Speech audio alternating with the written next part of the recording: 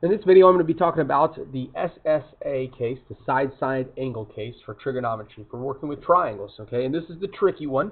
If you ever have trouble remembering which of the cases is the tricky one, it's the one that's acronym would be inappropriate if we turned it backwards. We never say angle side-side for obvious reasons, if you think about it. So, when we talk about the SSA case, the reason that it's tricky is because if you are given two sides next to each other and then an angle that's not between them, side, a side, and then an angle, there can be no solution there can be one solution or there can be two solutions. And so the question is, how can we figure this out mathematically? And the answer is by using the law of sines. That's one way, at least. There's there are more than one way, but this is one way, at least, to figure out whether we have one solution, two solutions, or no solutions for a triangle. Drawing triangles is also going to help us out. If you can draw a triangle, if you can use a ruler and a protractor, uh, and maybe a compass, that might help too um, then, then you can figure this out pretty quickly just by drawing the triangle. But we're going to talk about a mathematical way. Let's talk about first a case like this. Let's say that we are asked to solve the following triangle, okay? Solve the given triangle, and I've given you three measurements here. A is 22 inches, B is 12 inches, and A is 40 degrees. And I've went ahead and I used a ruler and a protractor, and I was very careful in these measurements. I went ahead and drew it out already, just for the sake of time. Now, I look at this, and this is what I know based on this picture. I know that a triangle exists because I was able to connect the three lines using a line that was 22 inches. This is drawn to scale, of course. A line that was 22 inches long, a line that was 12 inches long, and I have a line here that's 40 degrees. And it was possible, whenever I used this 40 degree reference line right here, it was possible to take this 22 inch line and connect it. So I know we're going to have a solution just by drawing it, but of course mathematically that's not so easy, right? What's going to tell us mathematically if we have an answer? So, to attack this kind of a problem, what we're going to do is we're going to use the law of sines. Now, here's what I know.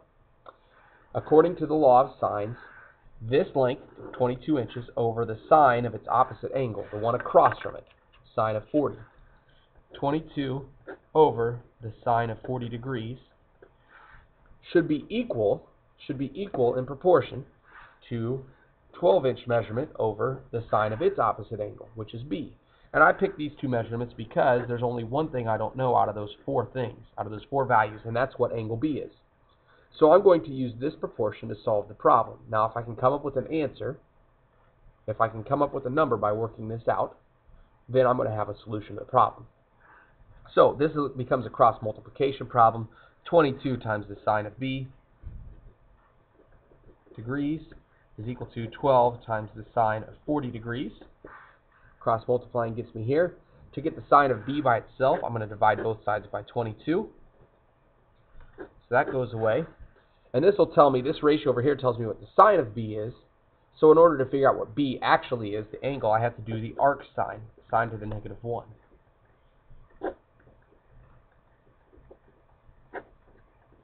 of that gigantic fraction over there. That's what b is going to be in degrees. So I grab my calculator, and of course I want to make sure that my calculator is doing measurements in degrees right now. I do not want to be in radians. But I'm going to actually work this out. Let's see. I'm going to take 12 times the sine of 40. I'm going to divide that by 22. It gives me 0.35. And then I'm going to take the arc sine of that answer. It turns out the angle is 20.52 degrees. That's what B is. So now that we know B, and I know that I have an answer, I know at least it's not a no solution case. That's what I can determine so far. There is a solution. The question is, are there two? Also, once I have this, it's going to be very simple to go farther because now that I know this is 40 and this is 20.5, I know that the three angles add up to 180, so it's going to be pretty simple to solve for C next. For the sake of time, I'm going to skip that for now. Once I solve for C, then I would use the law of sines again to solve for little c, for the length C. The question is, how do I know that there aren't two solutions? Well, let's go talk about some different cases, and then maybe we'll come back to this problem. Next problem says solve the given triangle. Here are three measurements. A is 4 centimeters, B is 14 centimeters, and A, angle A is 60 degrees. So I went ahead and I drew it out for you. I didn't draw this one to scale, I drew it all the way out. This length is 14 centimeters for real. This is really a 60 degree angle using a protractor, and I just drew a reference line over here. I'm going to use that just to find out if this triangle is possible. Here's what I know. The line that connects this point here down to this reference line needs to be 4 centimeters long. But if I use my ruler and I try to get a line that's 4 centimeters, I get nowhere close. The longest, the closest I can do is going straight at it, right? Well, let's turn that paper sideways. The closest I can get is going straight down, like at a right angle. And even if I do that, I'll only get down to about here so, okay? The longest line that I can draw that's 4 centimeters goes about right here. This is a no solution case. This line is not long enough to actually make the three lines connect, as long as it's 4 centimeters, not unless I stretch that thing out, right? So how can I tell mathematically? Well, the answer is I have to use the law of sines. So I come down here. The law of sines will tell me something like this. Actually, let's pull it up here. The law of sines says if this triangle actually existed, let's assume for a second that it does, that we were able to make a triangle out of this. This would be angle C, this would be angle B, and this would be side C. So if that triangle actually existed, what I would know is this. 4 over the sine of 60 degrees would be equal to 14 over the sine of its opposite, which is b.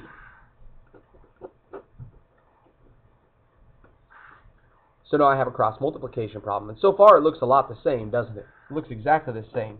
I would cross multiply. I would say 4 times the sine of b degrees is equal to 14 times the sine of 60 degrees. And to get that sine of b by itself, I would divide both sides by 4 and get rid of that. And that tells me what the sine of b is, but it doesn't tell me what b is. So I need to do arc sine. I need to do sine to the negative 1.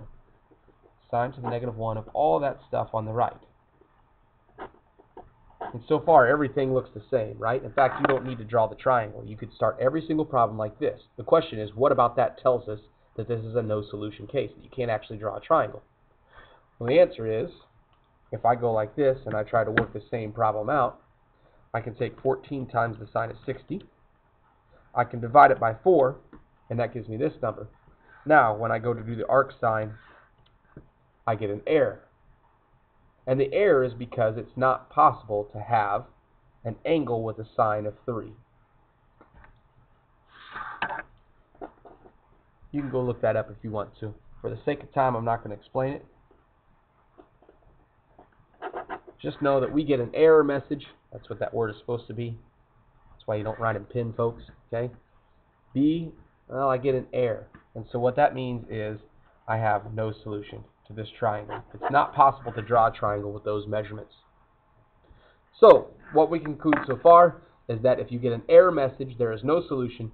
If you don't get an error message, if you actually get a number, there is at least one solution. For the sake of uh, not making this video 15 minutes long, I'm going to cut off now, and you can go watch. I'll create a second video about how to talk about the, how to discover whether there's two solutions or one solution. So, there we go so far.